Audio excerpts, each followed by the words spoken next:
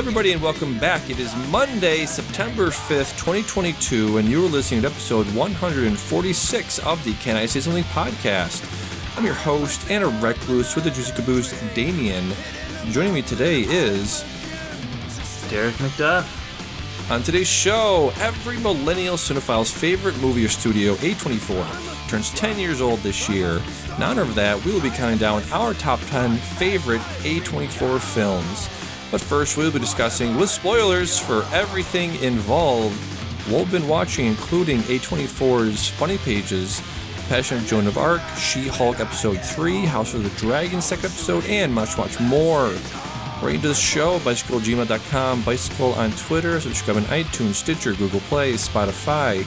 Rate and review it on Apple Podcast. Tell a friend, family member, or stranger. What's up, man? How you doing?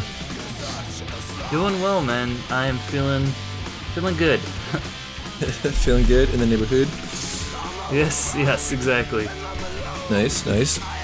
Recording a little bit early this week. Um, that that She-Hulk episode is actually, actually going to be number two. Yeah, I was about to say because yeah. like I saw that in your notes this morning. I was like, oh shit, I gotta, I gotta watch it. And I looked, I was like, okay, there's only still two episodes. Only two episodes. Yes, yes, yes. So a couple weeks ago, we did our uh, most anticipated movies coming up in the fall season. I, I sent you a bunch of clips of other people doing. it. I think the big picture, Sean Fennessey stole our idea, swiped it from us, swiped that very original, original idea. Big, big podcasting. You Yeah. know, sniping the little guys here. Exactly. The, the big industry, big podcast, taking out the small guys again. Again, they got, they got deep pockets. Bill Simmons just took a vacation because he's like, I don't want to watch movies. I don't want to talk about baseball and stuff. Fuck you. it's your job, man. Yeah, man, I gotta, I gotta take a vacation. All right, you know, uh, uh, I'm gonna hang out with uh, Larry, Larry Bird. You know, Yep. great. Wow, yeah, Larry. Larry, best ever. Best to ever do it. One of the big guys. yep. uh, but we were talking about uh, my number one was and still is "Don't Worry, Darling," um, the new Olivia Wilde movie that's coming out pretty soon. Um, but a lot, of, a lot of drama. I heard there was like vaguely there was some vague rumors going on around this movie where Florence Pugh wasn't promoting this on any socials or anything like that, and I guess she's not going to do any promotional material other than, other than going to Cannes or whatever film festival that she's showing at in, in September. But yeah, very Yeah. interesting stuff. How, what did you hear about this? Uh, I've been hearing a lot of things about. It's every day. It's like, all right, there's some new, new. Uh, uh, don't worry, darling. Lord just dropped, and it's like, Yeah. what's this one about? Oh, this one's about Shia LaBeouf. All right, and he used to be on it, and then he quit. Or and then Olivia Wilde said he he got fired, and then he shared a video that was her begging him to come back, and it's just like, and then there's all this stuff about Olivia Wilde hooking up with uh, Harry Styles, I guess. while she was still in uh, in a relationship with Jason Sudeikis, and Yep. just every every day it's just like more and more and more stuff keeps coming out about this thing Yes, yes. I have a uh, article pulled up from BuzzFeed News uh, talking about summarizing it. Um, yeah, rising tensions between her and Florence Pugh. She was like you said that video that Shia uh, shared. She was like, "Flo, come back. I know we can. I, we can do, I know we can smooth this over or something like that." Um, And then the stuff with Harry Styles, with her dating him, and people, I, a lot of stuff I'm seeing on Twitter is like his accent is like horrendous, like he's barely holding it together, and it's like you know how many movies has this guy been in? Um, you know why was he cast in this? You know s- singers can be can turn actors. You know people can do that, but apparently he's this is one of his first big roles, and he's not. I guess he didn't handle it very well. Um, so yeah, well just, i will just- i will give yeah. him the credit of like because when he was in dunkirk i was like that's weird Yeah. stunt casting nolan's not a stunt casting kind of guy and Right. apparently he just auditioned for dunkirk and got it off like the um you know his this quality of his audition Oh, uh, because Christopher Nolan had never heard of One Direction, so Ah. uh, that was his first big movie. So you know, Yeah. although he was playing someone British, so you know maybe it's it's that thing of like he can't really play an American or can't do the accent. Yeah, yeah, it might be, it might be. Um, trying to see if there's anything else here to talk about, really, about it. Um, so Wilde apparently has been accused of accusations, uh, accused of accusations. she addressed accusations of pay disparity between Pugh and Styles, and it was rumored that their their romantic relationship with Styles contributed to Pugh's unhappiness on the set and her apparent feud with the director. So, yep, that's that's Yeah. really all it is. Yeah. Um, yeah, let's a lot see of what. a lot of a lot of butting heads and and egos and tension and yeah. Yeah, so I'll be interested to see what comes of it. If it's all worth it, all worth the drama Yeah. to, for that movie. It's probably just going to be nominated for best picture, maybe maybe best director, maybe script writing, maybe a um, supporting actress think? thing. Maybe, You yeah, think? I don't know. I don't know. possible. We'll see. We'll, yeah. Tough field this year, very tough field that we mentioned Yeah. last week. Yep, yep, yep. So let's see what else we got going on. So yeah, we're going to be doing the A24 countdown, top 10 A24 films that I've seen. Uh, I shared the list with you. Uh, Letterboxd does this cool thing where you plug in, you just you, you can just go to it, and if you've plugged in all the movies you've seen in your entire life, like I have, like a maniac, uh, it'll show you like a list. It'll show you like a list of you know A24 films, and then it'll say how many you've seen out of those. And I think I said I saw like 41 percent, 45 percent, something around something around there. Uh, have you seen like 17% of them, correct? yeah, yeah. You, like. You've got me doubled and then some. So yeah, I've been I've been an A24 head for a while now. Like I said, I am that generation. I'm perfectly attuned to that studio's um, their their tone, their style. That's that's just right up my alley. Um, Let me see. I have a like I've, I've thing pulled up about like the cult of it, the, the cult of A24, um, written by by Vulture. Uh, Nate Jones wrote this this week. Um, let me see here. There was something where it was like you know most film studios aren't that. They don't say like I'm going to see a Spotlight movie or I'm going to see a Paramount movie. I'm not. I'm going to go see whatever movie. Right? We don't. We don't say that with other studios, but we say that with A24 movies. Uh, it's kind of weird, right? yeah, J- just A24 and Marvel. Those are the end of the you know they're so opposite ends of the spectrum. But yeah, they're really the only you know ones that are like the big driver is the studio. Yes, exactly. So I have the yeah, I have the article pulled up and or the sorry, his um his ranking, Nate Jones's ranking at the beginning of his article, he says, quote, a new verbal tic has taken over cinephile circles. Normal everyday people take pains to call a movie an A24 film, while only a variety reporter says something is a Sony film or a Searchlight release. Why? Because for many fans, the indie studio's badge means something. It's a marker of quality, but more than that, it's a promise of certain singularity. An A24 movie is an auteur driven and visually stunning, with an offbeat sense of humor or setting or perspective that you've never seen before. The studio doesn't just make a high school movie, it makes a Catholic school makes a Catholic school in Sacramento in the spring of 2003 movie. Um, so do you agree with that? It's like uh, they have a very distinctive um, style and tone to their movies. You can you, could could, could you spot an A24 movie uh, if somebody just showed it to you?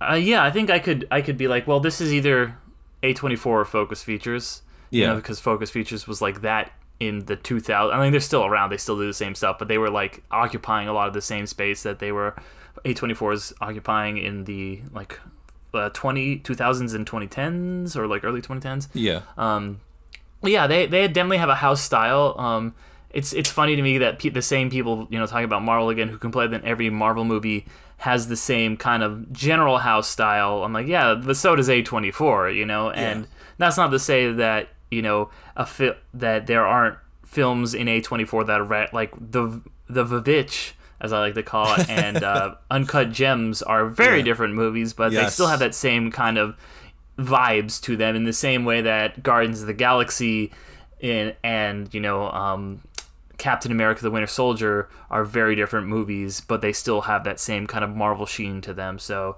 uh, yeah, I would say that there's a distinctive house style.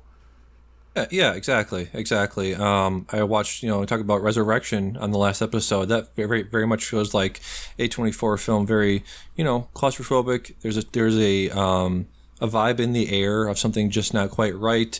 There's always some sort of like monologue, like in Hereditary. Um, And in Resurrection, there was also a monologue there, so it's very much that. I also uh, want to quote. Um, basically, it's like a newsletter from uh, the New Yorker. Um, they had uh, put out this week. Uh, I'm trying to see who. Oh, from uh, Madeline Coleman. Um, she was talking about A24, all the A24 stuff they're doing this week. 'cause I guess Adam Jones, in addition to doing the list, he also um, talked. That was also his essay on the cult of A24, and he also reviewed Funny Pages, which I'll- which I'll talk about in a second here. But I want to mention something that she said, which I thought was very interesting. She's like, um, you know, she's talking about Nate. Uh, how he filled out his list. So she says, Nate Jones made his choice and he will give you his reasons. Quote, there are Satanists. Someone gets lit on fire. Everybody dies at the end. people open their hearts. It's a metaphor for grief. It's weirdly funny. so I thought that was a good summation of like you know what what can you expect from a A24 film? Yeah, somebody's gonna Yeah, cry, yeah. somebody's gonna flip out, somebody's gonna be on fire, somebody's gonna be naked with a dick hanging out. You know, somebody's gonna yeah, exactly, right. yeah, pretty much, pretty much. Summation of A24 films. So yeah. um, so unfortunately, I do want to talk about um, funny pages, and I say unfortunately because it was one of the least one of the least uh, favorite A24 films I've seen this year, and really of all time so far. Um, I'll just spoil my list. I have this at the bottom. I have 40, 41 movies I've seen of uh, A24. I put that I put Funny Pages at the bottom. Um, the Funny Pages is a film directed by Owen Kline. Um, he was on the Big Picture. Speaking of Big Picture again, he was on that show this week. Started talking about his uh, inspiration for making the movie and where his perspective was and who he is as a person. And if you go back and listen to the interview, the interview and what he says in it and his like mannerisms and his tone and his cadence is very much like this movie. It's like it's meandering, it's all over the place.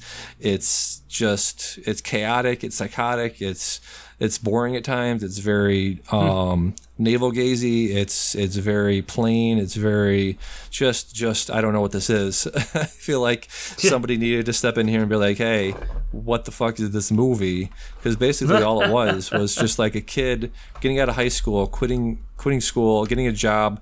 Um, getting an apartment in a basement with some fucking weirdos, and then one of those weirdos is he he like sued this guy at CVS. So the main character, um, played by Daniel Zolghadri, Robert, um, and Wallace, basically become friends, and they go to the CVS and stake it out. This guy that he's suing, and then they then Robert brings Wallace over to his house. The, the like the entire last half of this movie is just Robert and Wallace meeting Robert's parents and having dinner, and just Wallace having like this psychotic bipolar uh, breakdown. And I'm like, what the fuck was this? This this movie that's supposed to be about comic books, and it's just about two fucking weirdos having dinner. I mean, I'll watch you know uh, you know my my dinner with Andre all day, but at least that say, yeah. yeah that that movie is that you they uh they advertised that that I didn't I was not sold a false bill of goods with my dinner with Andre because that's what it was. That's what it's marketed it as. And this movie is just not that. It's not uh, about funny pages. It's not about it's not about comic books. Uh, like like I said half this movie is just degenerates being degenerates um, for most of it. So I would I would not recommend funny pages unfortunately. Yeah, that's that's. Yeah. I mean, speaking of, you know, it's another A twenty four movie.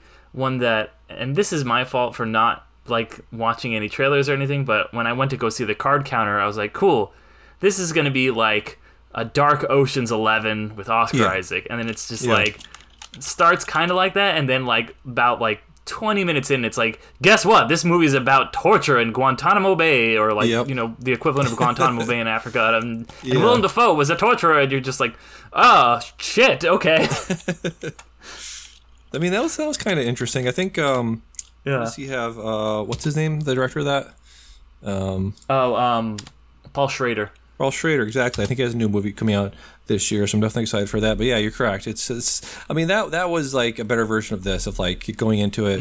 What is this? Oh, that's an interesting like um, alley you're going down, or that that's an interesting pivot you took um, to that. I didn't see that coming, and I enjoyed it as opposed to Funny Pages, which is like you guys filmed like s- ten hours of footage, and you decided to put. 45 minutes of an awkward dinner scene in this movie that's supposed to be about comic books. Eh, that, that, that didn't work. That didn't work for me, unfortunately. But yeah, yeah, yeah. I'll avoid that, unfortunately. Um, so let's get something we both watched She Hulk, Attorney at Law. Right now we have two episodes out so far. Um, I really enjoyed the first episode. Didn't quite, I mean, the second episode I felt was too short. I felt like we were just gearing up for an interesting uh, plot point with the what's his name? Abomination guy. She meets him talks to him. Uh Blon- blonsky neil blomsky? Not, not neil blomsky. Was it? Was his name? Something like that Something right? like that. blomsky? Blomskin uh let's see. What is his name? Abomination? Emil Emil Blonsky, thank you. Yes, yes, yes. So she talks to him, and they did, yeah, they did this interesting thing of like, he's not a bad guy. He was, he was, you know, um, told like he was going to be the next super, super super soldier. Like he was just following orders, and he was doing very much the same. He made like the argument that um, what's his name from Falcon Winter Soldier made John. John uh, Oh. John America. John America, exactly, John America. Yeah, that guy. Uh, yeah, he made the argument of like, I'm just doing my job. You told me to do it, and I did it. Which, coming from an asshole, coming from a, Yeah. guy who's currently an asshole, that doesn't really sell very well. But coming from this guy who's been in, you know, containment for 14, 15 years, however long since that, that movie came out, um, I could buy it. I could, I could buy it a little more. Did you feel like that that sort of um, context around his character worked for you?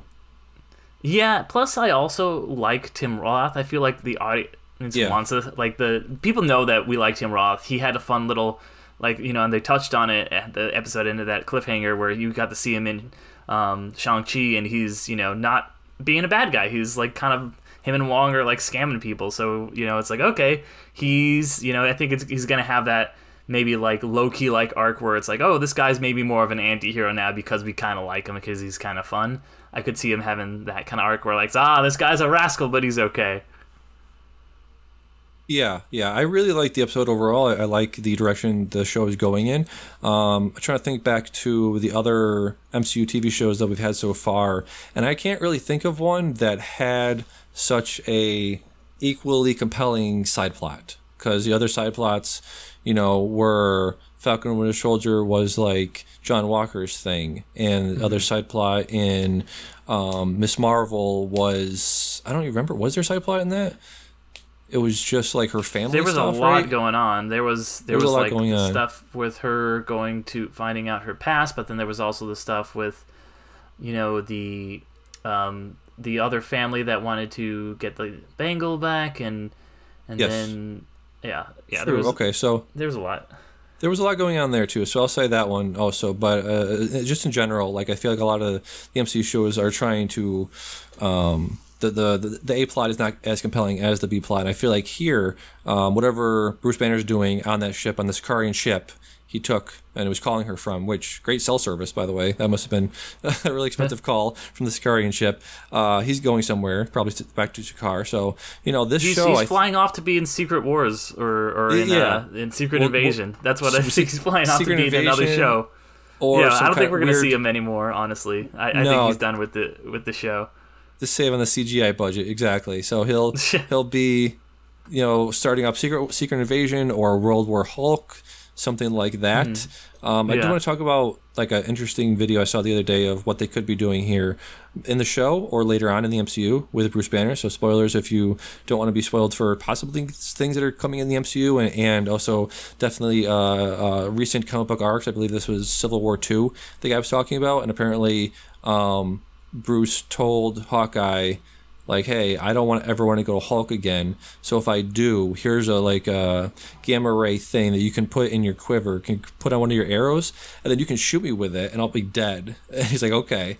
and so uh, Civil War Two, I guess the basis of that was that somebody had a vision about the future and Bruce uh, Hulk just massacres everybody. He goes on a massive rampage, kills basically the entire roster of heroes.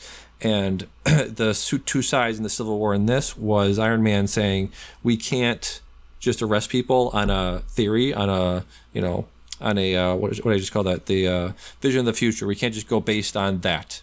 you know, and some and uh, Captain Marvel said yes, we can. So that was the basis for that, and they did a little, little fighty fighty, and then they approach uh, Hulk and they say, "Hey, Hulk." We we're gonna arrest you or whatever. We're gonna put you down or something. And so they have a discussion. Hulk gets pissed. I, Arrow comes out of nowhere, kills him, and apparently it was Hawkeye that did the killing. So that'd be an interesting way of sort of bringing in that arc, of bringing the Civil War two arc in. Be an interesting way of making Hawkeye a compelling character again. Uh, Hawkeye was another one uh, that had an inter- interesting, I guess, uh, B plot too. But uh, yeah, this could this could be that too, right? That could be an interesting way of bringing him back into the fold, right? Yeah, no, that could you could definitely bring. I mean, with Marvel, they have so many toys in their toolbox, and just they can always bring one out and put one back and find an excuse to bring anybody back for for any reason. You know. Yeah. Yeah, and just getting back to She-Hulk, She-Hulk real quick. Um, uh, Tatiana Maslany, really great actress. I feel like she's really uh, right, the right fit for this. I love the fourth wall breaking stuff. Um, I'm curious if this will, you know, they'll they'll break the fourth wall and how they're going to do that. I, I feel like Fleabag did a really great version of this. I don't know. Did we ever talk about Fleabag? No, I need to watch that. And Yeah. I, I really do. Yeah, this uh, this is you know obviously fourth wall breaking. Uh, Fleabag didn't invent it, but I feel like um, if you go back and watch that show, she she did some really interesting stuff with that, and I'm wondering if they're gonna borrow from that. Um, that'd be Well, very she cool. already is um, breaking the fourth wall yeah. a little bit in this. You know, she's addressing the again? audience and stuff like that. She is already like breaking the fourth wall a little bit by addressing Yeah. the audience and stuff like that, doing those little asides. Yeah, yeah, exactly. I'm very interested to see how if they'll do anything uh, like that with um, the Watcher. That could be a cool thing where she's talking to the audience and then the Watcher's like, "I see you." she's like, "I see you too." Uh, that's that's what I was going to say too of like um, bringing in the cosmic stuff because we're getting up close to um, Black Panther, which was going to bring end to the, the fourth phase, and this could be a way where Bruce is in space right now. That could be a way to, and he was also he was talking to Shang Chi about his his rings. Um, giving off a beacon and where that beacon was going and who was it talking to. I feel like this could be a really great bridge from the street level stuff to the cosmic stuff. Do you think that? Yeah, yeah, I think they could definitely patch it over. I mean, I feel like you know this is probably all we're gonna see of it in She-Hulk, like I was saying, because I think that they're they're just like, okay, we got to have Hulk in this, obviously, because that's her origin. We will spend an episode of him breaking uh, her into like or letting her know about like how it works to be a Hulk and stuff like that, and then okay, he's gone and he's he's he's uh, shot off. We've we've got what we needed from the Hulk, and he's off to do his cosmic adventures while we have this show about a lawyer, which is kind of honestly, I'm I'm digging a lot that it it doesn't seem to be a like a big like what the a lot of the Marvel shows and movies have been. Of course, I mean WandaVision started the same way, and I think WandaVision started really really strong, and then it just became uh, sky battle with like shooting lasers at each other. So I hope this doesn't evolve into that. Um, so I really liked. I think for me, I really enjoyed the second episode where it's just like her doing lawyer stuff, and it's like, what would yeah, what would it be like to be a lawyer in this this world with superheroes and stuff? So Yeah. Yeah, yeah. I can't wait to see uh, where they go with that. Yeah. Uh, let's see what else we got on here. She Hulk. Uh, House of the Dragon. I watched the first episode. The second episode is out. I haven't watched it yet, but I've heard some really good things about this. Are you watching this?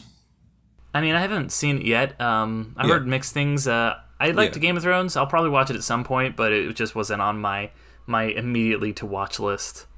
Right, right, right. Yeah, it's it's fine.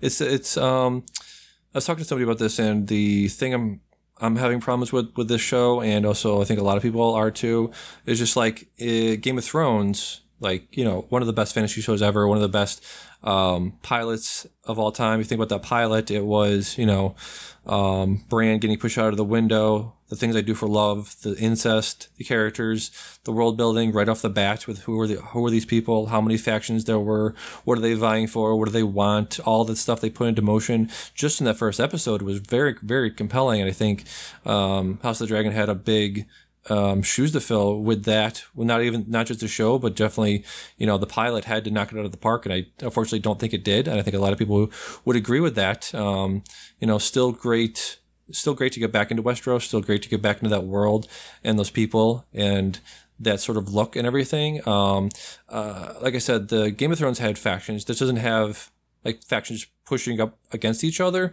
so it's very difficult for me to like care about anybody specifically because they all look the same and they act the same and there's um you know you can't say like oh i like the starks. I'm a stark person. I'm a lannister person. I'm a whatever person you know? They're all targaryens. So you're like okay well who am i gonna who am i to root for in all of these blonde people? They all they all have the same kind of look on their faces and like they all have dragons. So it's like all right uh, you could say like in game of thrones i want the dragon woman to win. I want i want daenerys to win you know? But all these people are basically like not great people and what are they fighting for and what's the end game? And also of course um, you have the prequel problem of like i know where this is going i know who lived and died because there's a book written about this.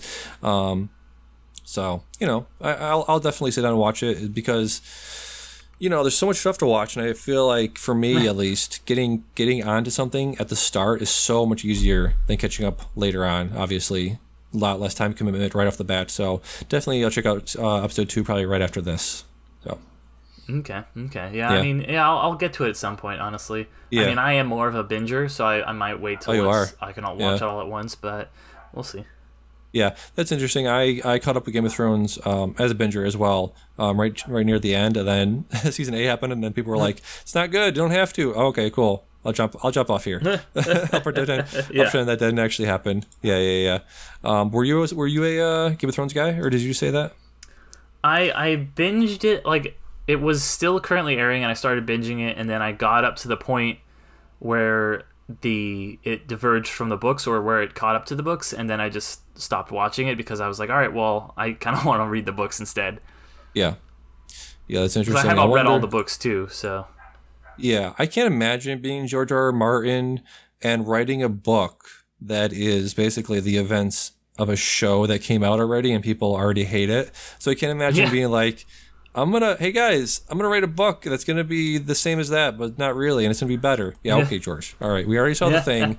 We're not interested in this fucking thousand page tome you're writing. I can't imagine like Hmm. you know putting hours and hours and hours of, of your life into something that people probably are not looking forward to. You know what I mean? yeah, yeah, no, I, that kinda I hear sucks. you, man. Yeah. Um, let's see. So let's get to 3,000 Years of Longing. This is a film that feels like an A24 film, but it is not, actually. um, I saw this yesterday, and you also saw it. Uh, what you think of this? I really liked it. This movie to me felt like it's me being a aspiring writer, storyteller, D and D dungeon master, whatever. Um, I I really respect and someone who is very interested in like mythology and the stories that we tell. This movie was like a movie about the power and the importance of storytelling and of these oral and written traditions that we have and I just thought that was so fascinating and also the the stories that we tell that are love stories and how that affects our lives and the real people that are behind these epic great tales. So on all of those notes I really thought it was interesting. Just I thought it was this is a premise that is so weird that I don't know if another filmmaker could pull off but George Miller just kind of just does whatever the fuck he wants. And has for his entire career. So the fact that he's making a movie where Idris Elba like is a immortal genie Forrest Gumping himself through mythical history is just fucking so weird and bizarre and cool. Yes, yes, absolutely. Um, just want to start right off the bat by uh, saying the theater going experience not great. I haven't had a bad one in a while, so I was due for one. Some guy is like sleeping three chairs uh, across from me. Here, could hear him snoring at times. Some people are rustling with candy. It's like, bro, why are you stop rustling? Why, we don't we don't we don't rustle anymore. Just take out the candy, put it in your lap, take it out of the bag. Stop digging for candy the entire time. God damn, stop. so annoying. But um, I also really enjoyed it as as I could, as much as I could. Um, Such a great, like you said, love love movies about storytelling, about the history of it. I love that she was, um, you know, uh, what did she call herself? A novel novelist, novelist, Uh, something like that? a narratologist, I think. narratologist. Thank you. Yes, that was actually exactly what she said. Um, because during her speech at the very beginning, talking about how I think this laid out all of what George Miller's thesis is thesis was for this movie about how there's always been stories about gods and strong and and godly people and mythology dealt with people that are um, you know godlike. Um, and then the last slide she shows before the scene ends is of you know superheroes. Now our mythology Yes. now that we've created is superhero stuff and, and like that. And i thought it was an interesting way of bridging that and also saying like with um, Idris Elba's character, the Jinn, he comes into the world and follows uh, Alithea back to um, to London, and he's like, as soon as he gets there, he's like sniffing the air, and he can feel he's he's basically electromagnetic. That's how what's they figured out or sort of figured out where his power comes from and what he is, what he's made up of, and so I thought it was interesting way of saying like the old gods, the old stories, the old myths don't um, mesh well with our current world. You know what I mean? Because he comes into our world, and at a certain point, she comes home, and he's like dust. He's like turning to dust. And I think what they alluded to was that the the uh, the the stuff in the air, the electromagnetism in the air, was basically killing him, right? Mm-hmm. Did I get that yeah, right? and it's so yeah, exactly, and that it's so poignant because it's like yeah, you know, it's like TV killed the radio star. You know, it's like all these forms of new media have eclipsed and destroyed. Or not destroyed, but they have replaced in the minds of a lot of people these narratives. And you know, George Miller obviously had famously wanted to make his uh, Justice League movie, so he knows a thing about to about superheroes and modern mythology and just obviously filmmaking the way film and these kind of new age stories that are beamed over electromagnets and just like projected and like she says i don't really know how it works but that has replaced the kind of oral tradition that existed for so many thousands of years and just you know that's got its good and its bad and i love the scenes where the jinn is just kind of going around the world and seeing all of these amazing marvels he's like wow like humans made this. Like humans made this collider. Humans made this thing. Like all these marvels of random science that we we would have to like think up in the past that or things that we would come up with magic are the magic we imagined in the past can't even compete with the actual reality of our everyday lives today. So I think that was a very interesting um, point that that kind of brought up at the end. Yeah, yeah, I think you nailed it there. Um, and then another point I wanted to bring up and get your thoughts on. Um, one of his last, Idris Elba was basically telling like three or four stories about um, different masters he's had over the years. And I believe the last one that he had, I had it written down here. Zephyr, was that the last one he had? Um, right? The woman that was like. Yeah, I in, can't remember her name, but yeah. Yeah, that sounds correct. Um, so it's the way he was describing her, she had a lot of the same mannerisms as a, a, Athenia, Athalia, whatever her name was, a difficult name to say. uh, Tilda Swinton's character. The the last master he had had a lot of mannerisms, and like her leg would shake the same way that Tilda Swinton's mm. character did, and she also read books the same way that Tilda Swinton's character did. Um, I was trying to think like, what's the correlation there? What's the connection there? Is is this was that the jinn's perception of his, his last master and how it, it corresponded to, to Tilda Swinton? Was he thinking about her? Was she actually doing that? What, what do you make of that?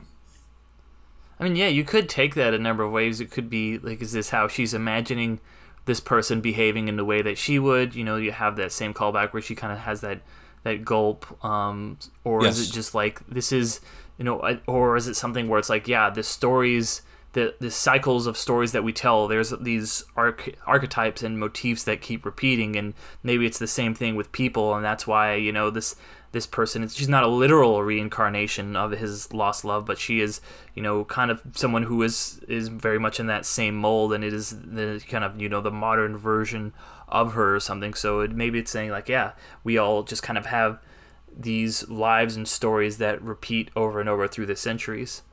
Yeah, exactly, exactly. Then one last thing I wanted to uh, mention about it, it's very much about like, because she, she Tilda Swinton's character wishes for the genie to love her. And that's where sort of the uh, the last third of the movie kicks off with them going back to London and, and living together. And it's she realizes, oh, I can't like.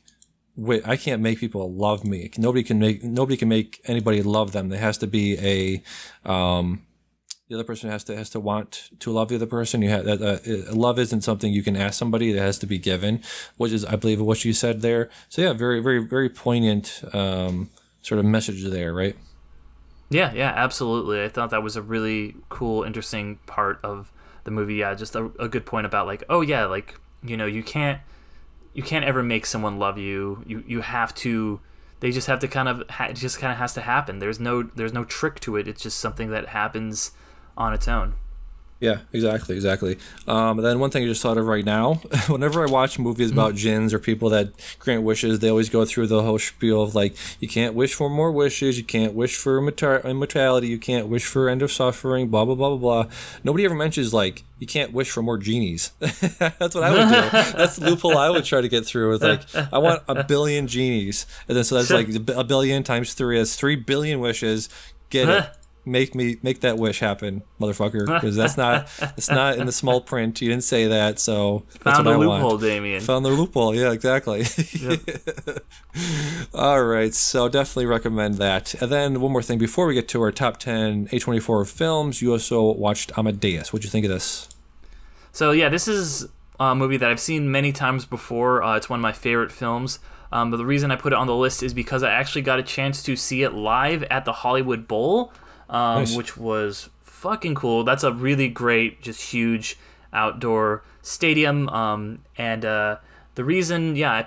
the- So basically, what it was is for people who aren't familiar with Amadeus, it's a movie um, that it centers around Mozart, and so uh, the movie was projected on a screen or a lot of very large screens while the LA Philharmonic played all of the instrumental Mozart and other composers stuff uh, live. So that was a really fucking cool live experience that was live music but also uh, you know watching a movie just kind of uh, a kind of meld of the two um, so that was really awesome Yeah, very cool. I saw this recently um, for the first time, and yeah, it's incredible. It's one of those movies that we always talk about being like homework because it won uh, Best Picture, I believe, that year. Um, yeah it won a lot of uh, won like 12 oscars or something or maybe not 12 like 11 oscars some a lot though yeah Yeah, yeah, and it was always always on my list, and I was like, okay, I'll get back to that at some point. It felt like an academic uh, exercise, um, but yeah, it moves. It's it's a very um, it's a lively movie. F. Murray Abraham as uh, Salieri, Salieri um, it was incredible. Tom Hulce as as uh, Amadeus was, was great. Um, the one thing I going into this that I knew about it and I really appreciated about it. I'm wondering if you picked up on, it as well. Is the I believe the majority of the film was shot with natural lighting. You know, all of the scenes and all the rooms were lit with actual candles. Did that stick out to you more watching on the big screen? You know, yeah, that's because I have I've only ever seen it on my small screen. So yeah, like you, it's, it's something I didn't. I don't think I consciously noticed it, but now that you're saying, it, I'm like, yeah, that makes a lot of. I gotta love movies that can use natural lighting like this, and this movie absolutely looks incredible. So, yeah, very good point. Yeah, yeah, yeah. really good. Highly recommend Amadeus. So with that, let's get to our top ten uh, A24 films. Uh, whenever I'm making a list, whether it's a year-end list, mid-year list, top ten actors or directors, I always think about like you know my head versus my heart. What's the movie? You know, where do I want to put the movies that mean something to me that I really appreciated that that move me emotionally versus like you know Moonlight versus the ones that um, won a bunch of awards that are you know about something that are that are deep and uh, have a social like a social message that are that are quote unquote important films. Um, so how did you how did you think about this? Do you, do you sort of think about like that as well? Where like I know this movie is good and it has a message and it's really good acting and it won a bunch of awards. Do you do you weight those um, more or less than the ones you you emotionally connected with? You know what? I, I don't anymore. And there is always that pressure. It's like, oh, well, you know, you've got to like this movie. Like, this is an important movie. This is a, in block letters, like, important movie. But for me, I'm like, you know what? This is, these are just going to be my favorite movies. The ones that spoke to me or the ones that I thought were really uh, moving. Um, for whatever reason, they're the ones that, that really did it for me and not necessarily the ones that have a lot of you know critical or acclaim or whatever it might be. I tried not to be obligated by feeling like, oh well, if you don't put this one on the list, then then what are you doing? I've been listening to a lot of screen drafts recently, and Oh, yeah? you know that's always the thing they got away when they do that show.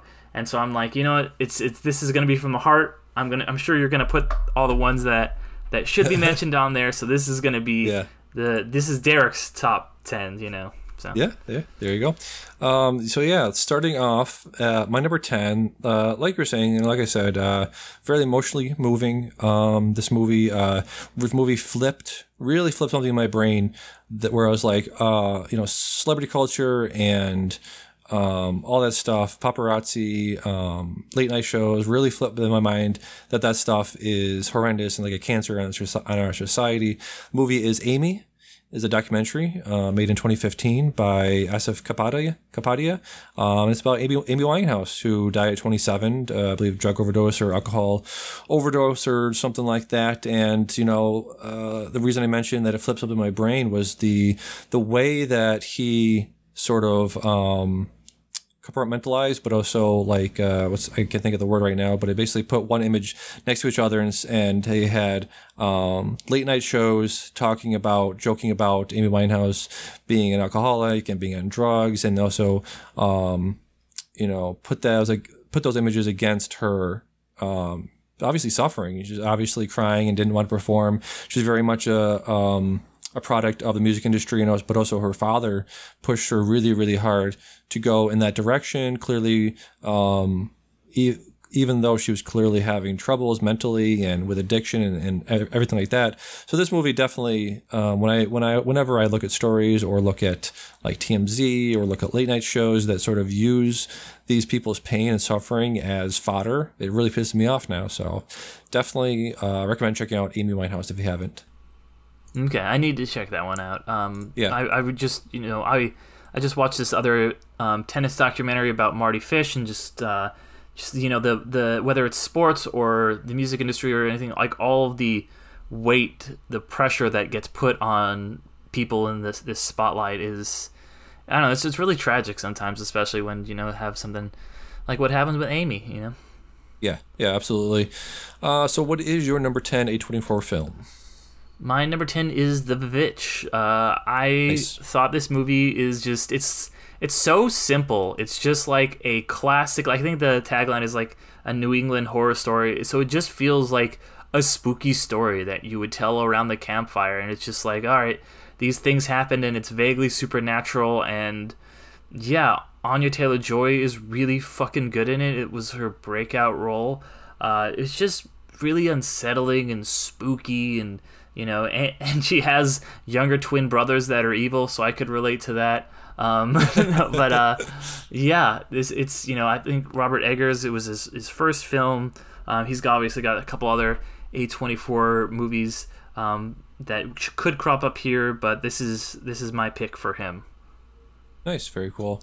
Yeah, Robert Eggers, uh, obviously The Northman, uh, did the uh, the Lighthouse from a few years ago. Yeah, yeah, really great. I, got, I definitely got to revisit this. One, this is probably one of the first ones um, I saw in theaters, and again, terrible theater going experience. definitely ruined Yeah. a lot of this for me, but definitely will revisit that sooner than later. Uh, my number nine is Lady Bird from 2017. Again, very emotionally impactful uh, movie. We have um, Saoirse Ronan playing the titular Lady Bird.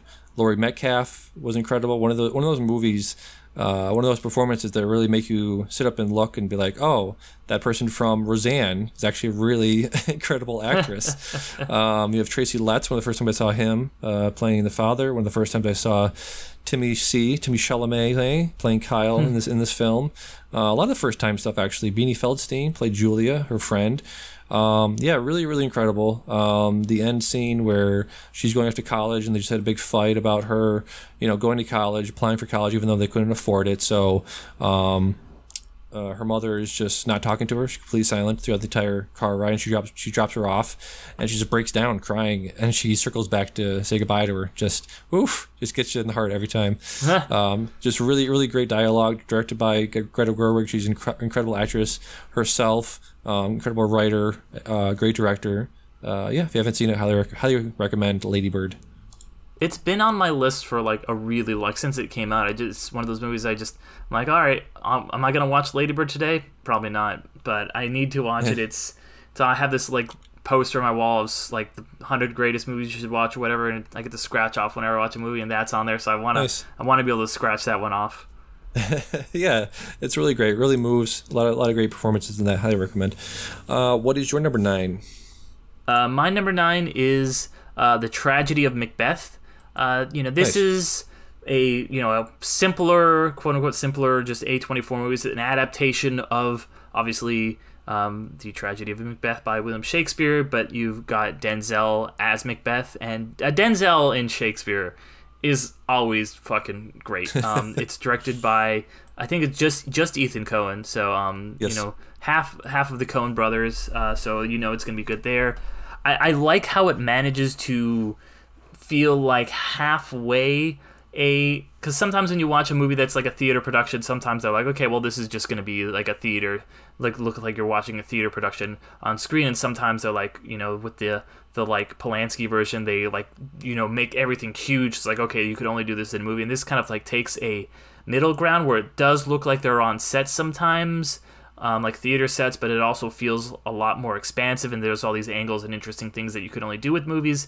Um, it's cool that it's in you know black and white and all the cool stuff they do with that. But yeah, just just getting Denzel to like hear these iconic like lines of a Mad King and just you know Frances McDormand as Lady Macbeth and every other character. Rufus Sewell I think is in it too. Is just he's always a great Yeah. fucking creep. Um, so all in all, I just I just thought this was was rad. Yeah, yeah. It gets back to that uh, point about what's an A24 film. This has all of that stuff in it, just like The Witch. Um, really uh, visually arresting images, um, very interesting use of like contrast and negative space, and visually incredible. I would love to see this on, in a theater, um, and also incredible acting uh, by Denzel and um, Frances McDormand in that was incredible. Across from him, yeah, great. Great, great, great. great little film. uh, let's see where are we at here. My number eight, A24 film is a movie from 2019 called The Farewell, directed by Lulu Wang. We have uh, Awkwafina. We have uh, Shuzhen Zhao. Um, we have, there's some other people in here. Tzi Ma, uh, a bunch of people you would just recognize um, if you saw them. This is this was really incredible. Um, I guess there is a sort of cultural um, I don't know what you call it, like way of letting people die uh, on their own. Uh, the synopsis is um, Awkwafina's grandmother is dying, and the rest of the family is going to go over back to, I think it was China, might have been Hong Kong, um, back to where she lives, and sort of throw a wedding, but you know, it's it's not like a fake wedding, but the people actually love each other. But they're uh, it's like a cover for saying goodbye to her, or possibly throwing, uh, possibly having a funeral um, in the very near future. But they're telling her that you can't tell her that she's dying, right? So they want to basically let her live let let, let her live her life um, as if she's not dying. Um, so I don't know. I don't know how to feel about that. what do you think? Do you think do you think we should tell people that they're dying? Let them sort of um, you know live their life how they want to or do you think we have an obligation to help people no matter if they want to sort of uh, explore um, med- medical options Oh, man, this is you know that was a question that I thought about a lot when I was when this was movie was coming out, and then I've also been rewatching Breaking Bad, so I've been thinking a lot about like you know what would I would I want to know if I'm gonna die, or I just want to just be like oh hit by a bus and then I'm done. Um, you know, Right. So on the one on the one hand, it's like okay, if you you know I don't want to be like okay, well I've only got this much time left. I've only got this much time left. But then the other hand, you know, if I don't know when it's coming, I might not uh, something I might not have enough fire under my ass to actually, you know, finish my my novels or whatever I need to do. Uh, so it's it's a catch Yeah. twenty two. It's a hard. so it's a hard. I don't have a good answer for you because it's you know it's Well. damned if you do, damned if you don't. Yeah it's a weird situation there um, so yeah that's a great movie they're farewell I highly recommend uh, and what's your number eight Uh, my number eight is Free Fire, uh, which is Nice. a pretty cool, just kind of like smaller uh, black indie action comedy. Uh, you know, with a lot of really great actors. You've got you know Brie Larson, uh, Sharlto Copley, Cillian Murphy, Jack Reynor, um, and then of course the infamous Armie Hammer. Um, so yeah, it's just kind of it's it's one of those action movies that's very small.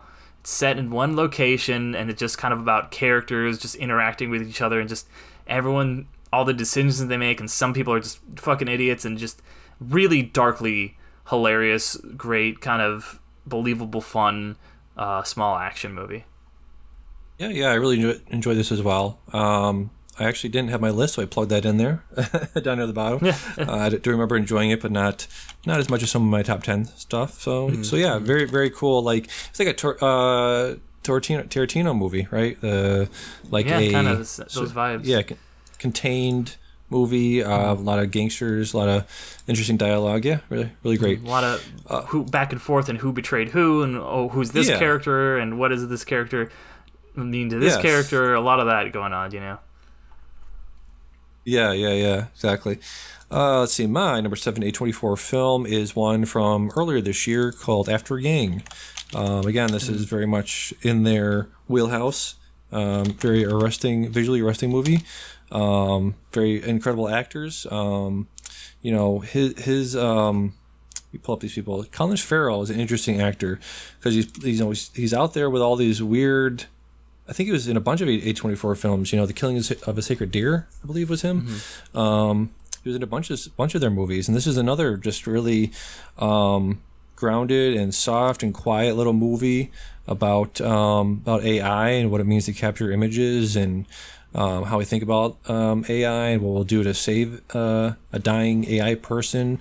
Um, yeah, really, really interesting movie based on apparently based on a short story. Good saying goodbye to Yang. Um, yeah, really, really great. Right? We saw this earlier this year as well.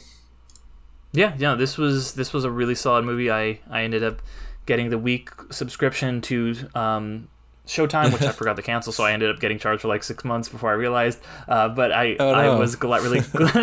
it happens. But I was was really glad to check this one out. Really cool. Just you know, lower. I, it's it's you know when you have those like, ooh, what's the AI going to be like in the future? And it's it's a nicer kind of A twenty four quiet contemplative yeah. version of that. Yeah, like you said, you know, it's it's sometimes people set on fire, sometimes like a naked dude running in a field somewhere, somebody screaming yeah. at another person, but other times it's just a nice little nice little film about life and AI and the future and things like that. Yeah. Exactly, can yeah. Be that, can be that as well. Yep, yep. Mm-hmm. So, what is your number 7 A24 film? Uh, my number seven, and this is also one that came out this year, and I might have recency bias with this, but uh, I'm going with Bodies, Bodies, Bodies. Um, nice. So you know, we talked about this recently on the show, so I won't dive too much into it. But yeah, really fun, kind of just thriller, mystery, comedy, just almost like a if TikTok was made, or if uh, Clue was made for like the TikTok generation, is what it feels like. yes, exactly. Another one I didn't have my list. So actually, I saw it says 43 A24 films. Wow, adding up pretty quickly. Yeah, uh, great, great movie. Can't stop thinking about it. Um, they were mentioning this the other day on, I think, Big Picture or somewhere. Uh, mm. Filmspotting, one of them. Uh, it's it's it's a very rewatchable, instant classic. Um, and you can't say that about a lot of A24 films. Again, talking about their sort of uh, style, house style. Uh, another one mm-hmm. you can just go back to over and over again, have a lot of fun with. Not you wouldn't really necessarily have a lot of fun going back to The Witch or Killing of a Sacred Deer or Florida Project or Under the Skin mm. or or or Ghost Story. A lot of their movies are just like. Man, yeah. that was a an emotional wallop. I, I need to call somebody. I need to call my mom after watching some of these. But uh, Bodies, Bodies, Bodies is just uh, yeah, it's, it's, not a fun romp, but it's actually definitely more yeah. high energy. Definitely a movie you can watch with your parents and not feel weird about later, and be like, "Are you okay, son? What do you? Why, why did you show this to us?" yeah, yeah, yeah. Yeah, great, great pick. I should, I, I might have put that uh, uh, higher on my list if I had seen it maybe you know earlier in the year or maybe last year or something. But yeah, uh, so there's your number seven. My mm-hmm. number six A24 film is one we've talked about fairly recently called Ex Machina. I believe this was on your list as well for something we talked about, or maybe this on. No, you know what I'm thinking of. They also did a list. Uh, Filmspotting did their list of best A24 films. They sent it out to make it to be surveyed on on Twitter, and somebody had this on mm. there. Okay. Yeah, again, very very similar to After Yang, a different different take on the uh, on different AI and how we how we treat it and how we think about it and what we do with it. And um, this is from Alex Garland. Uh, mm. You know, very interesting ideas from this guy. Has an interesting take on tech and uh, what we're going to do with it and you know, tech geniuses. Again, we talked about. I think we might mention this guy. Was that the one?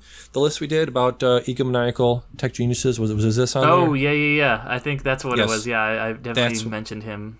Yeah, Nathan. Yeah, yeah, Nathan. Exactly. Um, mm-hmm. You know, one of the first times I saw Alicia Vikander on here, uh, early mm-hmm, mm-hmm. Oscar Isaac. Um, yeah, again, just just the visuals are incredible. I'm, I'm, looking at the trailer right now, looking at pictures of this, and it's one of those movies where you just look at it and be like, "Wow, that's that's going to hold up. You know, whatever they did there, yeah. with, either practical effects or a very good mix of practical and uh, special effects, really, really made it look like she's an actual, you know, AI, where she just half of her skin is there and half isn't, and yeah, very very cool looking movie. Mm, yeah, completely agree with all that. Yeah, yeah. So, what is your number six A24 film? My number six is The Lobster. Uh, Yorgos Lanthimos. Lantha? I can never pronounce his name.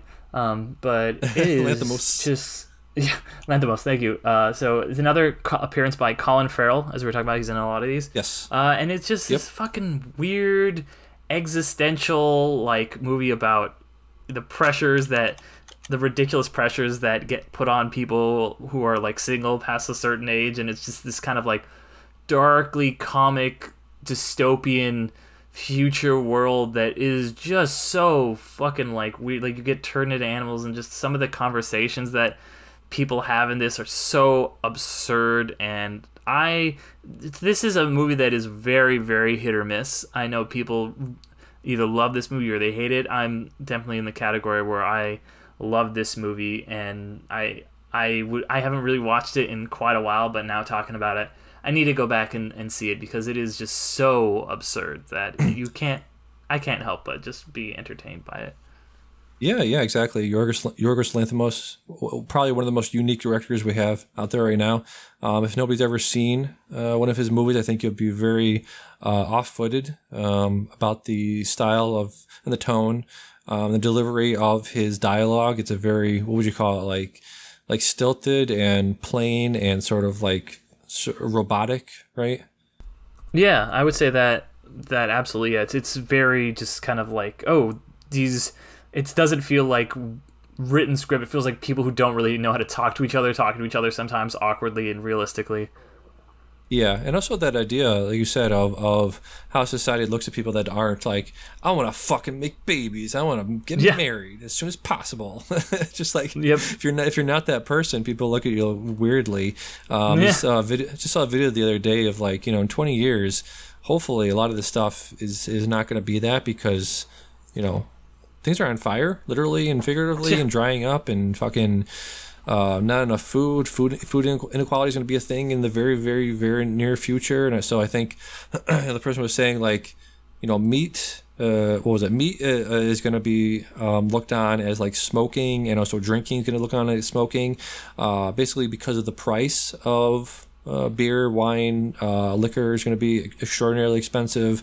Um, meat's going to be very expensive to, to eat, and um, I think you're going to look at, like you said, like this movie puts out there how we look at um, families and having kids and wanting to raise not just raise a person in this world but just put a person put an extra Yeah. body in this world put an extra mouth to feed and an extra um, waste to clean up and an extra you know person that we have to raise in this world you're going to look on to people that want to do that be like what is what is your problem not what is my problem for not wanting to have Yeah, a kid what, is, yeah. what is your problem for wanting to put another human being on this earth you know what, why would you want to do Mm-hmm. that so yeah very very interesting movie liked it a lot Yeah, yeah.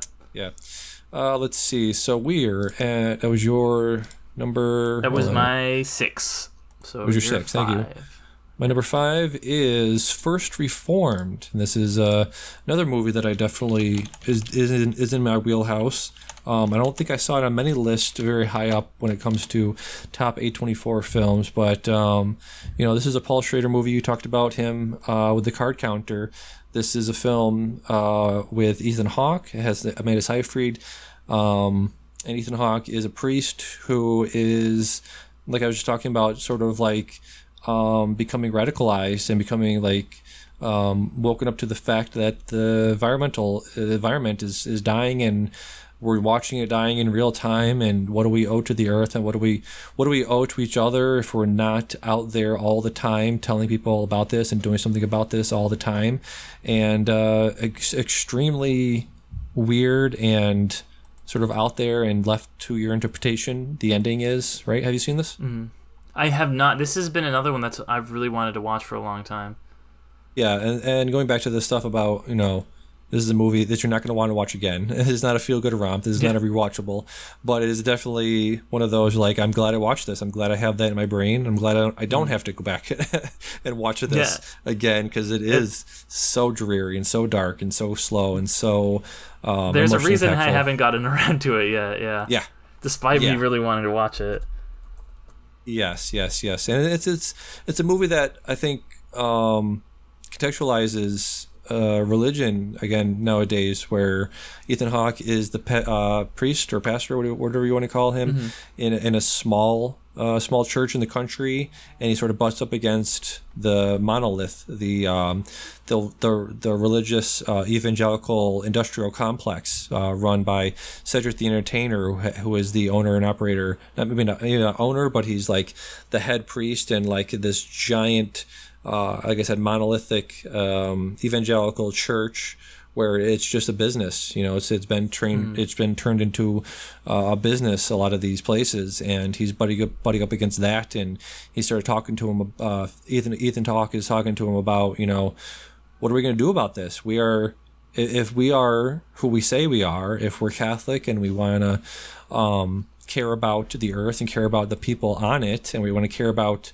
you know God's um, garden and God's creation, then we should be caring about all of it. We should be caring that there's oil being dumped into the into the oceans all the time and oil tankers are leaking all the time and there's so much toxic fumes being put into the air. We should care about we of all people, we should be the ones giving the most shits about this and we don't. And he's asking him why and he's uh, Cedric's just like, "Listen, I got I got my sponsors, I got my people, I got my uh, shareholders that I that I that I feel I'm, that I'm beholden to, that I'm financially beholden to." And he's just like fuck.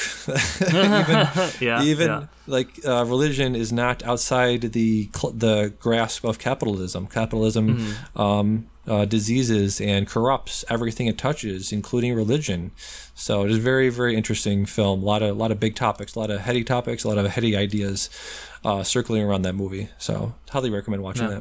that. Okay. Yeah definitely need to check that one out.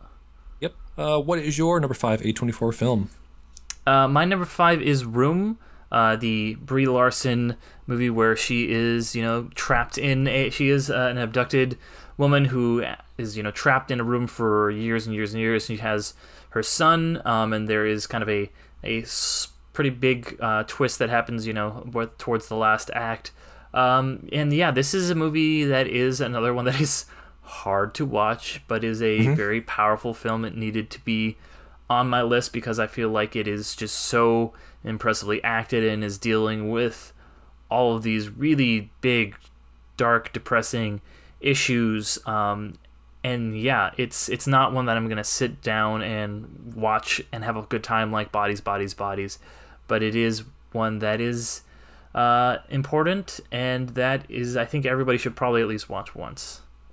Yeah, absolutely. Um, another trend I'm noticing about A24 films is they sort of um, are able to pick out and uh, forefront a lot of up and coming up and coming uh, actors and actresses and directors and writers. And again, 1st mm-hmm. time I one, one of the first times I saw uh, Brie Larson in a movie and Jacob Tremblay uh, in yeah. a film. Uh, I went back and watched uh, Brie Larson in Short Term 12, which I believe was uh, yeah t- 2013. She was in that a couple years before before Room. So um, mm-hmm. you know, again, one of those things that they they do very well is they find up and coming talent and they forefront them and they put them in very interesting um, art art pieces before they go off and become part of the MCU.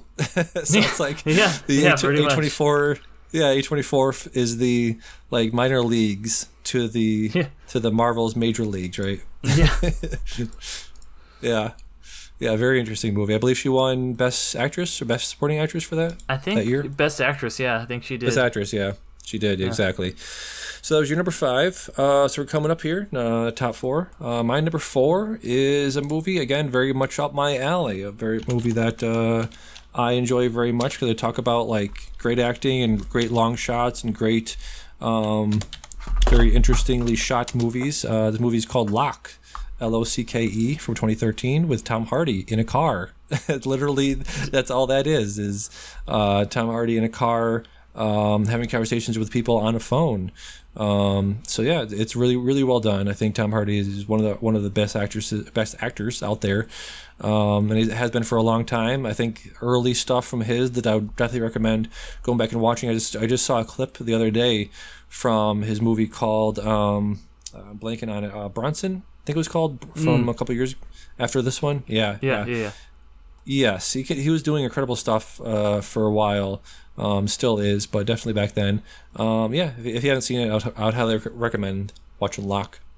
Need to watch it. It's been one that I've heard a lot about. Especially there's uh, there was this recurring joke on Patrick Willems' YouTube where one of his um, assistants or I guess interns um, was trying to get him to watch Locke, and he's like, "Finally, I watched Locke, and it was really good." So yeah, I, I'm in the same boat. I need to watch Locke. Yeah, yeah, it's incredible. So, what is your number four A24 film? My number 24, or my number 4, A24, uh, number yeah. 4 A24 yes. film is yes. a movie that we've already touched on, which is Ex Machina.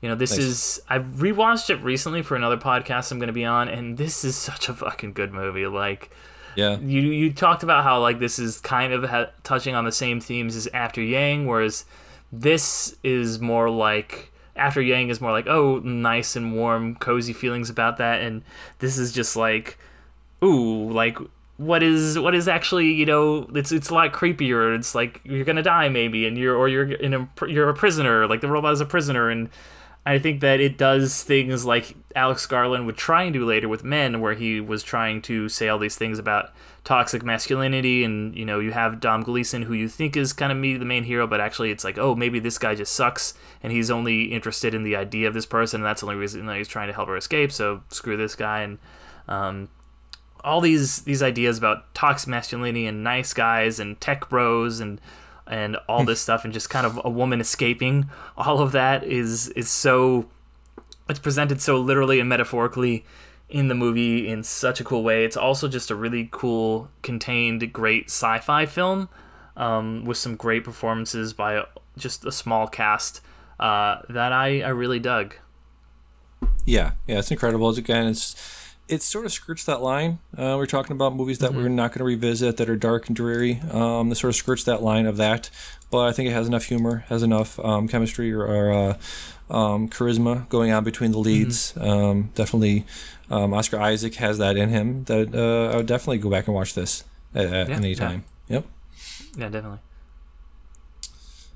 So we're coming to the end here. Top three. Probably going to recognize a lot of the stuff here uh, coming up on my list and your list. So I'm just going to go with uh, number three, Hereditary.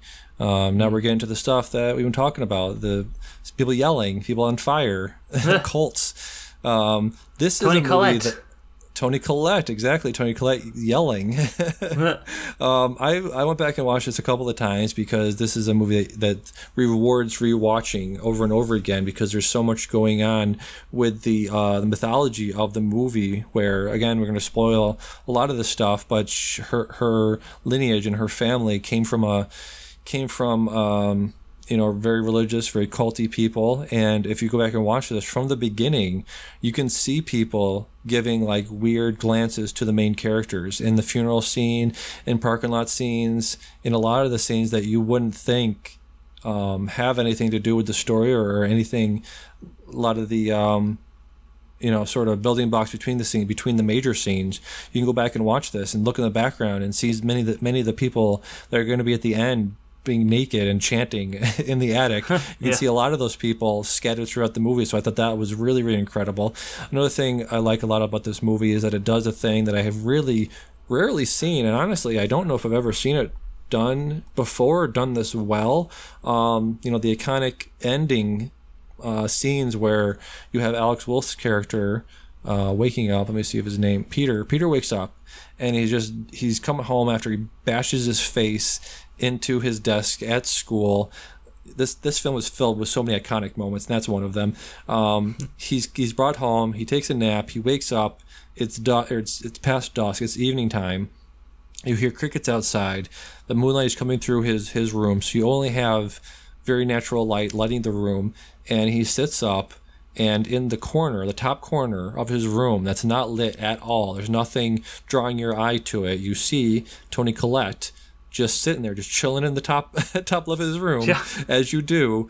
And I was like, God damn, that's incredible. And it's incredible for a few reasons. One, because they're not spotlighting it, they're not forefronting it. They're not like they're not like a lot of movies where it's like, hey, we're going to make sure you can see this because we have to, because we're not going to um, trust you enough to be able to move your eye to the top left of the screen so you know we know that you can see the thing. And it's just incredible that you know the um, the director Ari Aster was I don't know brave enough or, or witty enough or clever enough to to sh- to shoot the scene like that in darkness, and to only show Toni Collette. You can only really see her when she starts moving across the screen. So I thought that was really really incredible filmmaking. Yeah, I, I completely agree. That scene is so creepy and effective. This is a movie that I had originally on my list. I ended up bumping it off just because I didn't have enough slots. Um, but I do really love this movie. It is just really great, effective horror. And I love the A24 style of horror movie slash thriller m- way more than the conventional just jump scare because it is so much more effective and creepy and just I would way rather be unnerved by a movie than just jolted for 0.01 seconds and that's what this movie yeah. just the creepy vibes throughout the whole film just it, it, it's great yeah, yeah. You, anybody that hasn't seen it, uh, you know, obviously go back and watch it. But there's so many moments of her just like banging her head up against the uh, the ceiling when he's into the attic, and her chopping her head off, and obviously the the sister losing her head the when he's driving home, and the cry, the screams when then the morning afterwards, and you're watching him, you're watching Alex just sit there in his bed waiting for that moment. You hear her walking down this walking down the hallway going into the room and you hear her finding it and screaming in pain and just these guttural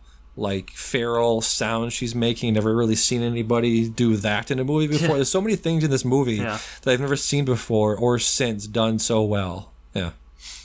Yeah yeah. Really unique yeah, and see. it's a great debut film for sure.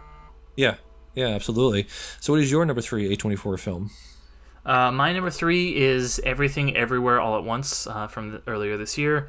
Uh, I thought this was such a great, interesting film about just the multiverse and all the different lives that we could lead or that we did lead and where those roads led us and what that means for our life today and, you know, the things we hold on to and the things we have to learn to let go of. And it's a movie that is kind of nihilistic, but then it tells you, yeah, the little things do matter. Um, I I think it's just it shows the the great power of like the mid budget film, which are all a lot of these A twenty four movies are mid budget films, and that's a big reason why I love them is they still exist in this space in cinema that is is really really disappearing, and this has proved that it still can be so effective. You can still make a lot of money. I think it's the number one um, at the box office A twenty four movie. I, I think both domestically yeah. and internationally. I'm not sure, um, but yeah, I, I really loved this movie, and I know yeah. you were a big fan of it as well. yeah, I'll talk about it in a few slots here. yeah, yeah, yeah. As I go up my list here, yeah, absolutely, yeah, great film. Uh, so my number two A24 film is, of course, Uncut Gems. it just kind of has to be. Um, just talking about it's very. Uh, bring it back to Hereditary. Um, the filmmaking is like you said, so incredibly unique in that um, it doesn't care if you can't follow along. It doesn't care if you can't hear what people are saying um, because it puts puts his character in these situations where there's so much chaos going on that you can't really make out what's being said or who's talking to who at the, at a certain point because there's so much chaos going on in the background and you know incredible one of the best uh, performances that year was by Adam Sandler, which sounds like a crazy statement to make, but it is absolutely true. Um, just an insane movie from from the get go of like, you know, uh, Kevin Garnett telling him, "Listen, I'm going to give you this ring, and you're going to give me that rock, and I'm gonna come back in like three days. So don't fucking pawn that shit. Don't don't don't do anything with my ring. If I come back here, you don't have my ring. I'm gonna be very very very pissed off. Yeah. Smash cut to the next scene. He's pawning the fucking ring for like a hundred thousand dollars or some shit. and just it's it's incredible like world building where you know, like I was mentioning, he was in the back of the trunk naked, and his wife comes and sees him, and she's like, "All right, come on." Let's do this again. Obviously, the way she's acting towards him, you can just tell, showing, not telling, you can tell that he's been in a situation before and she's been in the situation before and they're just dealing with it again. Um, yeah, just incredible standoff. Like you, you're watching this scene where I don't I'm not a sports guy, so I didn't really have a clear grasp of what was going on, but I could tell that he he needed like everything to go his way. He needed like a tip off to go his way. He needed the t- he needed the Celtics to be in a certain lead. He needed all this stuff to line up perfectly to go his way for him to get his money and to possibly not die. But spoiler alert, he does die, which was a pretty yeah. shocking moment at the end where he just gets shot in the face and man, it's it's just the the the, the camera the stuff they're doing with the camera where they they shove into his eyeball at the end there. That's very like bookends the scene where it's in his ass at the beginning and it pulls out there. Um, so yeah, just incredibly shot, incredible like moments again, uh, dialogue, everything. Just pff, it's a fucking uncut gems. What more can you say? Yeah. uncut gems. No, I I, I love uncut this movie gems. too. It, it it's it's one that I originally had on my list that just got knocked off by some other films. Um, and yeah. yeah. I think you know it's it's very much that uh, that it's so tense the entire time through because he just keeps getting in these situations and then he gets himself out of one situation but that puts him in a situation that makes it even worse and he just keeps building and building and building and the tension is just buildings throughout the entire movie, and you feel like, oh my gosh, when is this going to end? Is he ever going to get out of this? And he needs every single thing to go right, and then finally everything goes right, and then he, they fucking shoot him at the end. It's just like the ending. You're like, oh my fucking like, it's like that's there's the only way it could end, just because he just keeps building and building and building to this, you know, inevitable conclusion where yeah, he is he's just dead because you can't. There's only so much you can talk yourself out of. So you know, it, it's it's very much like a like a Better Call Saul episode or something where it is just that yeah. that tension, and we've got a this clever writing of how is this character just gonna get himself out of this, and he's kind of a scummy guy, but we like him. So yeah, Uncut Gems is great. Yeah, any any movie uh, not just a A24 movie, but any movie that can like reach through the screen and make you say like fucking stop, yeah, stop, idiot, yeah. just stop being an idiot, just slow down and think about what you're doing. Jesus mm. Christ. Uh, yeah, incredible. Um, so, what is your number two A24 film? My number two is last year's The Green Knight. Um, this movie is really weird and unique, and I, I'm a really big David Lowery fan. Um, and this falls right in the sweet spot of kind of weird slash experimental film where there's a lot of stuff, and you're like, what was happening there? Was like, is he imagining this? Is the fox supposed to be God? What is the metaphor for that? You know, oh, like he gets a handy from Alicia Vikander that thing, and what does that mean? And then he, and then you know, I'm like, he Joel Edgerton leeches it, leave, uh, leans in, and I'm just like, now kiss, and they actually kiss, and it's just like what? And it's it's so, and the the Green Knight himself is so just visually arresting and interesting, and it's a yeah. King Arthur story, but it's not a King Arthur story that is super well known. It's like we've had it's like oh this other character and. I, I love this is the best Dev Patel has ever done. Like he's an actor I think has really grown a lot. Like I don't think he's great in Slumdog, but over the years we've seen him grow so much as a performance, and he is just like he is like on like Aragorn, like Viggo Mortensen in the Lord of the Rings levels in this movie, as oh, far yeah. as I'm concerned. And it's just this movie about responsibility and what does that mean, and you know, growing up and like what is do we have to be protecting, and like what is this is this to- uh, masculinity toxic, and do we have to accept things? And the ending is ambiguous, but like it's it's not ambiguous in an annoying way. It's an ambiguous in an oh that's interesting way. So I, I fucking love the Green Knight. Yeah, this has stuff. Um, A twenty four another A twenty four sort of trope um, that we didn't really mention is like their cinematography is kind of incredible. I said it's you know stuff is visually arresting, but it can be you know a person on fire or a, a naked dude. But this has you know the mm-hmm. other thing of like incredible landscape shots and an, and an incredible like camera movement, and you know it's when we say challenging, you can mean a few things of like you know this it could be challenging because you want it forces you it forces you to examine societal norms. It forces you to examine uh, racism. It forces you to examine um, systemic things like racism mm-hmm. and systemic issues like that. But also this is uh, challenging in a way of like don't look at your phone. There's yeah. many many many long shots of just like nothing's happening really. But it is really great that the movies out there that the movie is allowed to do that as well as to be a panic inducing a movie like Uncut Gems, it's, you can also there, there's so much variety. People, you know, you're talking about like the A24 house style, but there is that variety in there where you have mm-hmm. a movie like The Green Knight that takes its time and lets the scenes breathe and lets lets you really soak into the movie and, and it's a, it's at its own pace. And then you have something like Uncut Gems or like um, what's the uh, what's the beach movie the the Spring Old? Breakers, yeah, something like oh. that. Yeah, spring, yeah, spring breakers like that, or bodies, bodies, bodies. That that that you know has a pretty high pace to it. You know, it's it has they they have a variety in terms of uh, style, in terms of genre, in terms of um, what the movie's saying, and also in terms of um, pacing. So mm-hmm. you could you could sort of um, watch five different A24 films and get five completely different types of movies, which is pretty great. Yeah, yeah, there is definitely, like we're saying, even though there is that style, there is so much variety within that style. Yeah, exactly.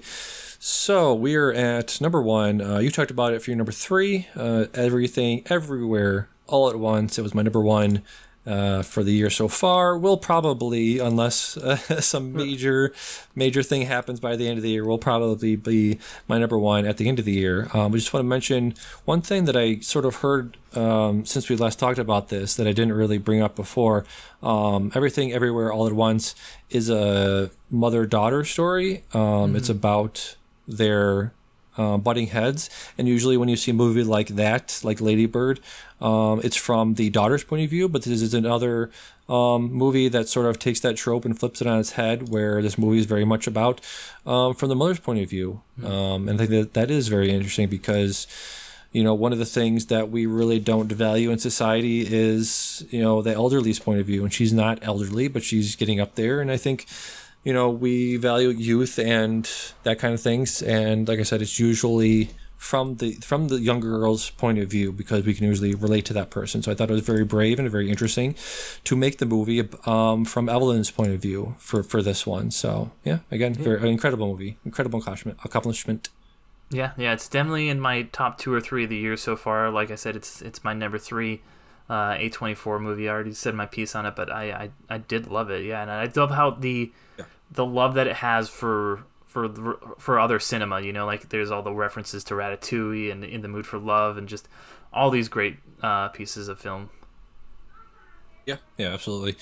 So, what is your number one A24 film? So my number twenty or my number one A24 film. oh, damn it, yeah. did it again. Uh, so we talked already about Ari Aster's um, first uh, movie, which was uh, very dark, very very bleak, um, and this one is still very bleak, yeah. but it is very light, very bright, uh, and that is yeah. Midsommar uh, or midsummer as some people like to call it.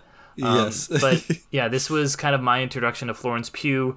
I think that the choice to like set this horror movie in the broad daylight where you are seeing absolutely everything is so freaking creepy and scary. Um, the best horror movies are always ones that feel real. Like, you know, when I watch Hereditary, at least for me, um, I'm not really afraid of demon cults uh, or demons and witches and monsters and stuff. But I am afraid of like creepy cult people because that's that scared me because I was like, oh, I could go to Iceland or wherever and this could happen to me. Like there are these. This is just people, and just I yeah. I love just how fucking creepy it was, and it's just this movie about how we deal with trauma, and it's also a really good breakup movie uh, where you just it it's it's so fucking good. The ending especially like that last little smile that she gives you know if you want to talk about cinematography like we have before the cinematographer in this is so fucking cool that huge dress that she's got with the, the may queen like flower crown and everything. I actually got a chance to see the actual dress when i was at the academy museum down in la and this movie just looks so phenomenal and he really uses the colors and the brightness that are on display with real strong effect because that is one thing. I was in a conversation on some Discord the other day talking about, you know, color, how colors aren't utilized super well in a lot of movies these days, but Midsommar really does a good job with it. Yeah, absolutely. The um, the thing I always go back to when I talk about this movie is if nobody's ever seen it, like that first scene, like the opening scene, is it the opening scene where her, her sister killed herself and her family? Yeah, yeah. It's one of it's one of the opening scenes, and it's just the way they do it. It's like again when you watch these movies and somebody's watching it with you, you're like, "Are you okay? Yeah. Like, what's the matter with you?" Like the Ari Aster, like, dude, how did you even think of like? Okay, so she has the car running in a, in a garage. That's the that's a common way for people to kill themselves. But then she takes like a PVC piping, runs it through the house, runs Mm-hmm. it up into her parents' room to kill them also with the car at the same time. Like, who the fuck even thinks of that Yeah. thing? It's- it's- Jesus. there's Um, this. There yeah. was this AMA Reddit with Ari Aster a couple years back, right after he made this, and so one of the questions somebody asked him was, "Hey man, are you okay?" And he just replied, "No." Yeah, man. Um, yeah, it's interesting going back and looking at it because you're like, okay, yeah, the the the brought the uh the boyfriend is obviously an asshole, very very toxic uh, masculinity coming from him. But is this are, is, is the is Ari Aster like saying, you know, everybody can be toxic. You can be you can have toxic masculinity, but also is the cult like is that that's also a toxic um what uh what would you call it? Like it's a group group mentality, right? Yeah, The- yeah. The, the sort of the- horde horde mentality. Mhm. Yeah, yeah. Groupthink can also be toxic. Um, what was I going to say about this? There was some. There was just a, like you said, a weird vibe throughout it. Um, yeah, I didn't really know what to expect going in, and, it, and like you said, uh, horror in the daylight, very very difficult to do. I'm not sure. Like a lot of these movies we're talking about, I've never seen that done in that way before. You know, horror horror in the daylight's very interesting. The the way it's shot was so interesting. The the bear being Yeah, put in the yeah. bear suit and then set on fire. Like holy shit, man! If you just want to just watch these movies with the sound off, you can you can also do that. Yeah. You know, yeah. so many of these movies you can sort of glean what's going on just from the actions. I think that's a very um, that's a, that's a um, commendable thing as well to shoot a movie in a way where you can just sort of understand what's going on without any dialogue. It's a really uh, good way of doing the showing not telling thing to a, to an extreme degree. Um, yeah, yeah, really really great pick. Um, so I did have a whole bunch of uh, honorable mentions to talk about. I'll go through them pretty quickly. Um, Midsommar was my number eleven. Uh, just just missed on the outside of that. Um, Green Room, incredible thriller um, with the late great uh, what is his name, uh, Mr. Green Room. oh, Anthony Um, Yelchin. do you know his n- Anthony Yelchin, thank you. Yep. Uh, he was great in that. Um, Moonlight, again, I had to put that pretty high up just because I did enjoy it, but it's also an acclaimed movie in its own right. Um, really enjoyed uh, Bo Burnham's Eighth Grade uh, from that year. That's at number 14. Um, a Ghost Story is very decisive, divisive. Yeah. Um, a lot of, I saw a lot of people when it first came out, and also later on, saying like, "I I'm not gonna just sit here for 20 minutes while Rooney Mara eats a cake or eats a pie or whatever. I'm not doing that with my life." Have you seen this? Yeah, I have, and it, I was it was one of the, it's David Lowery, so I was you know very excited to see it, and it's I think I liked it. It's it's like Yeah, I don't right? even know what it was really. I was like, all right, I guess Yeah. that was that was good. Uh, yeah, Yeah, exactly. Uh, Under the Skin, incredible movie with Scarlett Johansson early on, uh, early A twenty four film. Um, have you heard about how this movie was made? no, So they shot this in like Scotland or or like a rural part of Scotland or Ireland, um, and they basically shot it. They they she played she supposedly was like pretending to be a hitchhiker, and she was done up in all this makeup, um, so nobody could really recognize her very well. And they somehow shot her having conversations in the cars with the random dudes like from far away or they got the sound and they just edited it later but yeah they didn't tell anybody that they were shooting this movie and they just got a bunch of guys to pick her up and they had convers- like real real conversations throughout it and then later on um, whoever like did the best i guess became then they shot other other scenes with her actually doing the alien stuff to them um, you know in in the uh, in the environment she does it in. Um, so yeah very interestingly made there. Have you seen that one? Uh, I have not. It's it's another one that you know I've kind of in, been in the back of my mind for a while, but I've never actually gone around to watch. I mean, a lot of A twenty four movies I need to watch. Um, that one Yeah. I've not seen yet. Then uh, a couple more. Um, Saint Maud is one I mentioned on the last show about uh, Morfydd Clark, and the last frame of that movie is incredible. Um, I got the Florida Florida Project at number 19. Uh, I think that was an incredible incredible film with Willem Dafoe um, about very poor people living uh, alongside Disney parks. Juxta- juxtaposition. That's the word I was trying to think of from for the Amy movie. Juxtaposes them, the the very very very poor folks living alongside this very prosperous, very bright, very colorful uh, fairy tale land. I thought that was very very good.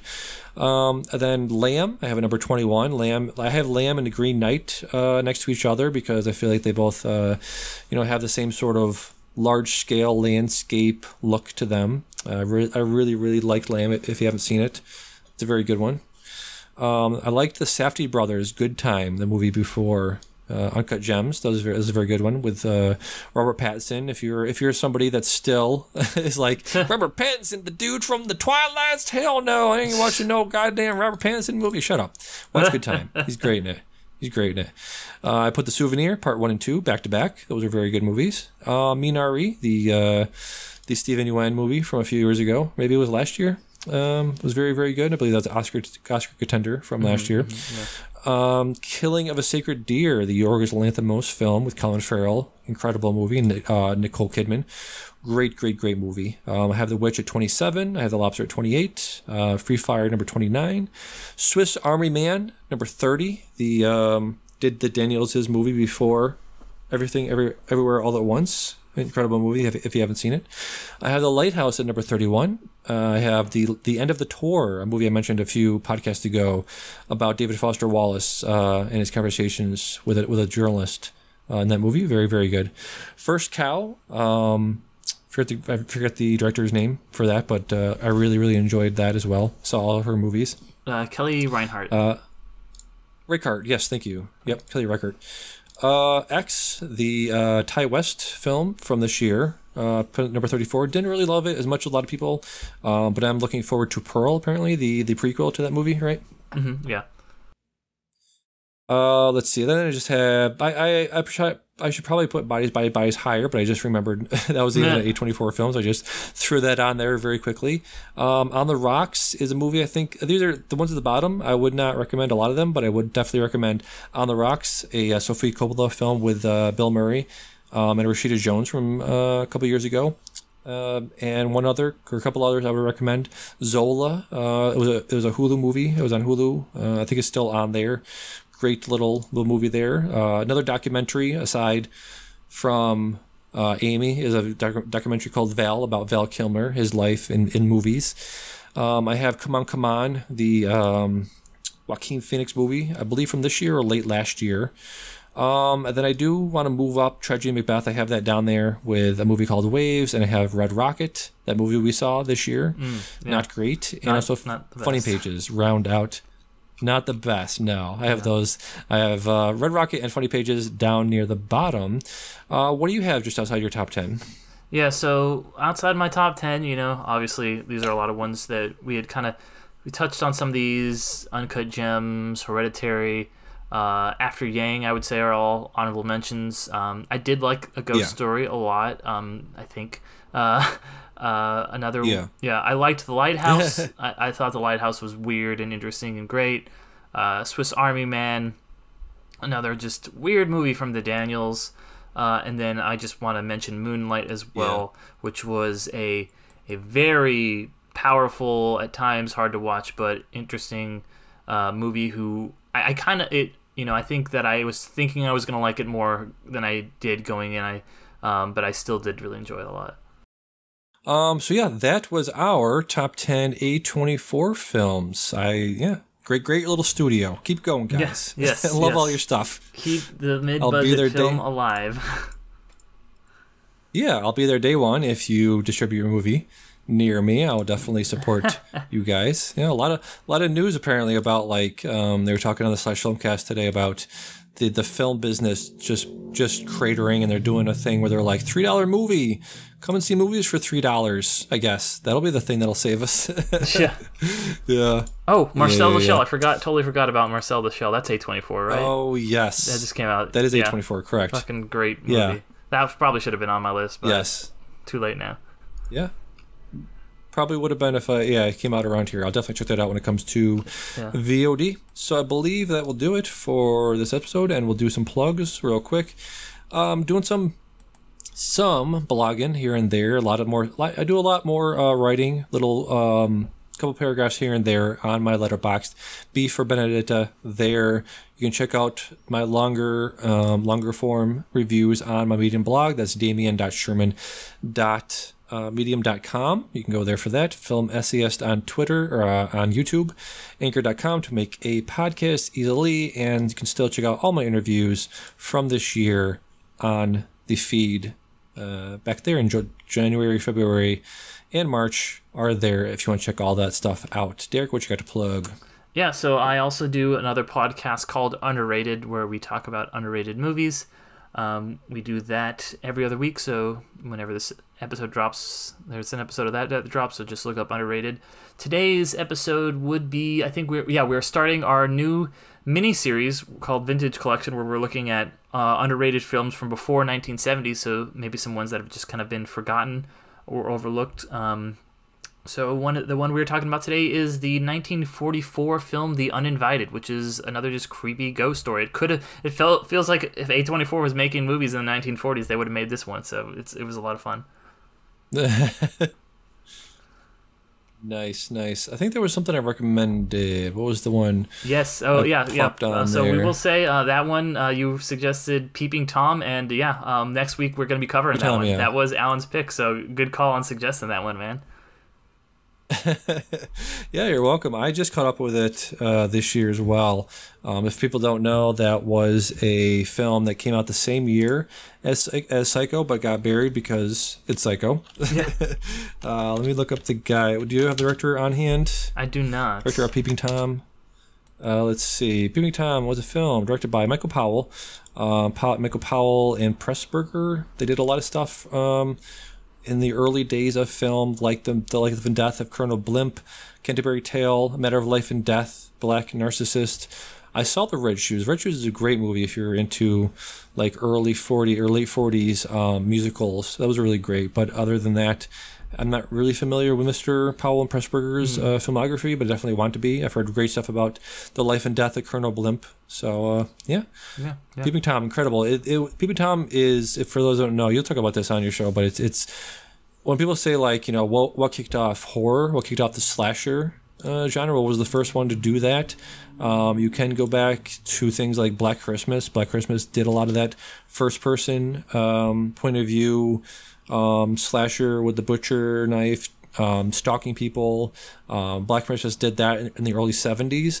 But if you want to be like academic and be like, well, actually, the first one that did it was Peeping Tom in 1960. So yeah, that's that's Nice, uh, nice. that's one everyone should check out.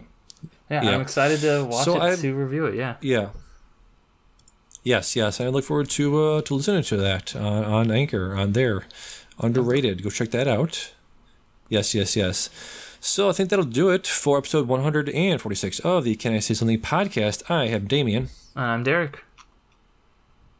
and we'll see you next time. See you at the movies. We'll see you at the movies and at the TV the TV shows.